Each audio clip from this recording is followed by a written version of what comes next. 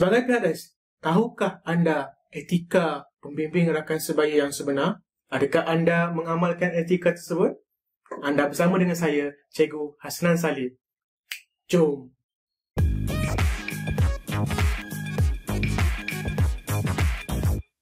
Hari ini kita akan membicarakan mengenai etika pembimbing rakan sebaya.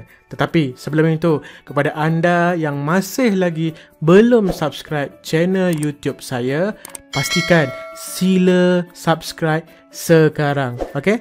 Baik, jom kita masuk kepada topik kita pada hari ini. Baik, bila sebut etika, etika ni antara perkara yang sangat penting dalam pemimpin rakan sebaya. Etika ni adalah perkara-perkara yang mana anda kena patuhi sebagai seorang PRS. Benda inilah yang akan memperlihatkan anda sama ada anda ni seorang eh, PRS yang sangat baik, sangat bagus ataupun PRS yang teruk sebenarnya. So kita lihat apakah etika-etika PRS yang wajar dan patut anda patuhi. Pertamanya adalah amanah dan menyimpan rahsia. Ini sangat penting. Ini etika nombor satu dalam PRS. Kalau nombor satu ni anda tak boleh buat, hmm, tak payah jadi PRS lah. Okay? Paling penting, jaga amanah, jaga rahsia kawan-kawan. Okay? Sebab itu kita latih PRS kita untuk menjadi pendengar yang setia serta menjaga rahsia rakan-rakan. Tak kisahlah. Kecuali Ha, ada pengecualian dia apa dia selepas ini kita akan huraikan. Okey. Kedua, terima dan hormat orang lain. Anda sebagai PRS tak boleh untuk memilih dan juga tidak menghormati orang lain. Maksud memilih tu apa? Maksudnya, oh saya nak bantu kawan saya yang kaya saja. Yang miskin ni tolak ke tepi. Ah, itu tak boleh. Okay uh, Hormat orang lain. Anda tak boleh uh, Mentang-mentang lah Awak PRS so Awak boleh jadi gangster kat sekolah Awak tunjuk taiko dan sebagainya. So itu Benda yang sangat Tidak digalakkan Dalam uh, Sebagai seorang PRS So Yang ketiga Tahu batas dan Keupayaan diri. Apa maksud Tahu batas dan Keupayaan diri? Okay, ini kena faham. Anda sendiri tahu di mana batas anda dan anda sendiri tahu keupayaan diri anda. Sebagai contoh, anda memang tak pandai dalam uh, subjek-subjek tertentu, lemah. Uh, tapi anda nak bantu kawan anda dalam subjek tersebut. Padahal anda sendiri ada kelemahan. Maka anda kena tahu yang itu tak boleh. Cari kawan anda lain yang lebih mahir dan pakar, bantu kawan kamu. Uh, itu lebih baik daripada anda Uh, membantu dia anda bagi dia ajaran yang salah pula lagi susah. Okey? Pasal keupayaan diri pula tahu anda memang uh, nak bantu kawan anda sebagai contohnya uh, ber, berekia, berekreasi di taman nak bantu dia kuruskan badan ke apa kan? Boleh tak ada masalah tapi anda sendiri tak boleh nak berlari satu jam. Anda hanya boleh lari 5, uh, 15 minit sebab anda ada penyakit ke apa kan? So kena maklumkan jangan paksa mereka ikut dan tak boleh paksa awak sendiri ikut cara dia. Mungkin dia mungkin boleh setengah jam anda mungkin dengan 5 minit aja so sebab tu kena faham. Tahu batas dan keupayaan diri. Okey seterusnya ialah uh, tingkatkan diri di pelbagai aspek. Anda sebagai PRS tak boleh orang kata apa Uh, tak bolehlah uh, sambil lewa ataupun uh, biarkan diri anda macam tu saja okey?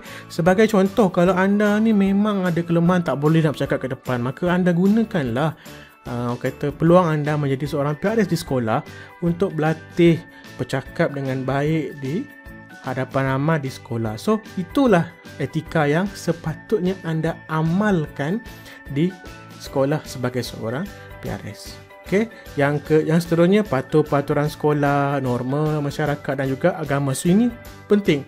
Kena berdisiplin. Tak kisahlah anda ni di di di sekolah ataupun di luar. So anda kena tunjukkan contoh yang baik dan yang paling penting juga antara yang paling penting ialah merujuk kes rumit ataupun bahaya kepada kaunselor di sekolah. Apa maksudnya? Maksudnya kalau anda dapat kes-kes yang agak berat sebagai contohnya uh, seksual ataupun berkaitan dengan penyakit-penyakit uh, apa ni sebagai contohnya mungkin uh, uh, depresi apa depresi ke kemurungan tu so anda tak layak untuk bantu okay, itu kaunselor uh, yang bertauliah sekalipun sebagai contohnya uh, kes-kes berkaitan dengan Uh, kemurungan hanya uh, sekretaris je yang mampu untuk bantu. So anda pun janganlah sembarangan buat. Okey?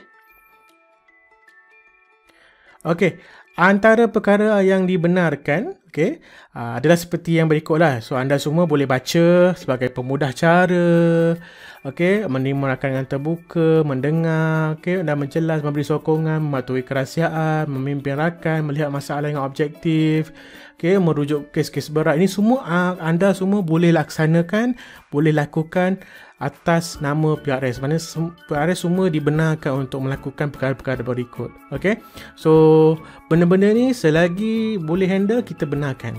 Ha, kalau tak boleh bagi kepada kaunselor. Jangan sembarangan buat benda yang anda tak boleh handle. Ha, itu jadi masalah nanti kepada diri anda. Okey, ingat ya.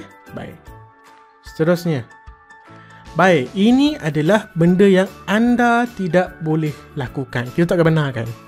Okey, contohnya kita mengawal, kita beri khutbah kat dia. Kan kawan tu tengah tengah tension, ada masalah, kamu pula pergi bagi khutbah kat dia, bagi ceramah kat dia. So tak boleh, tak digalakkan dan kita tak benarkan lah. So kita akan menyebabkan dia lebih stres. Okay? Membuat kesimpulan awal. Kawan tu baru cerita sepatah awak dah. Oh, okay, ini, inilah masalahnya contohnya kan. So benda-benda macam tu kita tak, tak, tak bagi. Maknanya janganlah baru cerita pasal satu top, satu perkataan, satu ayat. Dah, oh, okay, aku dah tahu dah masalah kau apa. Jadi masalah. Itu memang masalah pada diri awak sendiri sebenarnya. Okay? Beri nasihat. Kita tak galakkan kamu bagi nasihat. Kena faham eh. Bila sebut pasal nasihat, Nasihat ni adalah kebanyakannya ke arah kita nak memberikan dia solusi untuk dia dapat selesaikan masalah. Tidak. Tapi kita kena boleh kita hanya dibenarkan untuk beri cadangan. Sebagai contoh, awak bagi dia tiga cadangan. Dia berhak untuk memilih salah satu daripada tiga cadangan tersebut. Ah itu boleh. Tapi kalau oh, saya nak awak ikut ah, kata saya, saya nak ah, antara yang awak kena buat kena buat macam ni, macam ni, macam ni, macam itu memberikan cadangan terus tak boleh. Kena faham. Okey? Menyelamatkan rakan dengan membuat sesuatu yang supaya yang sepatutnya dilakukan oleh rakan itu sendiri. Macam tadi lah. Patutnya dia selesaikan sendiri tapi awak pula yang pergi uh, bantu selesaikan atau awak yang selesaikan. So tak boleh bercerita pada orang lain. Okay. Uh, berbincang masalah ni secara lebih mendalam. Okay. Bertindak menyelesaikan masalah rakan. Tak boleh. Semua tu tak boleh. Okay. Dan yang paling teruk sekali terlibat dengan masalah rakan secara peribadi sehingga mengganggu pelajaran dan perasaan. Ini memang tak boleh. Okey, kita nak bantu kawan tak ada masalah, boleh kita galakkan. Tapi sampai kamu sendiri yang bermasalah, masuk masalah sampai kamu tak boleh nak makan, kamu tak boleh tidur, kamu tak boleh nak buat kerja sekolah sebab memikirkan nak membantu kawan kamu. Ah tu tak boleh. So itu memang kita tak benarkan sama sekali. Dan anda kena pastikan benda-benda macam ni mesti dipatuhi lah okay, Kalau tak benarkan jangan buat. Kalau boleh buat. Ha, Kena faham betul-betul Apa yang etika yang kita dah tetapkan kepada Pemimpin rakan sebaya Baik, itu sahaja perkongsian saya pada hari ini. Terima kasih kerana masih lagi bersama dengan saya. Jangan lupa untuk subscribe channel YouTube saya. Okay? So pastikan subscribe sekarang. Terima kasih.